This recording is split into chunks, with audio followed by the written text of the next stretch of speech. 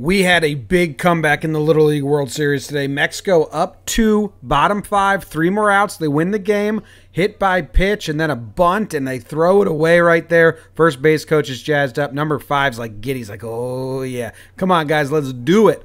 Let's make comeback. To third, third baseman makes a nice stop, gets the first out. Guy can't turn. Little dribbler back to the pitcher, waits, makes the throw, gets one, can't get two. Oh, little squib pass first baseman, pass the second baseman. That's going to get the tying run in. He's coming home. And the throw misses the cutoff man. And here comes the go ahead run for Venezuela. Whoo! Oh, yeah. Oh, yeah. Now all they got to do, three outs.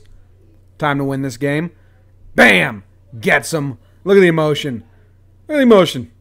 Absolutely love the Little League World Series. I adore it.